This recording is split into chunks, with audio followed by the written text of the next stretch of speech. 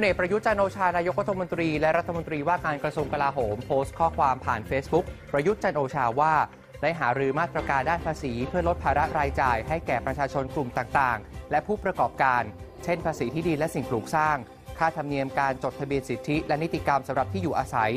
ขยายเวลายื่นแบบแสดงรายการและชำระภาษีเงินได้เป็นต้น โดยจะเสนอที่ประชุมครมออนุมัติ ในวันอังคารที่ 26 มกราคมนี้ ขอให้ประชาชนมั่นใจว่ารัฐบาลไม่ได้นิ่งนอนใจ พยายามหามาตรการช่วยเหลือในรูปแบบลดรายจ่าย ควบคู่กับการเพิ่มรายได้ เช่น โครงการเราชนะ หรือโครงการคนละครึ่ง ที่มีความก้าวหน้าเป็นไปได้ด้วยดี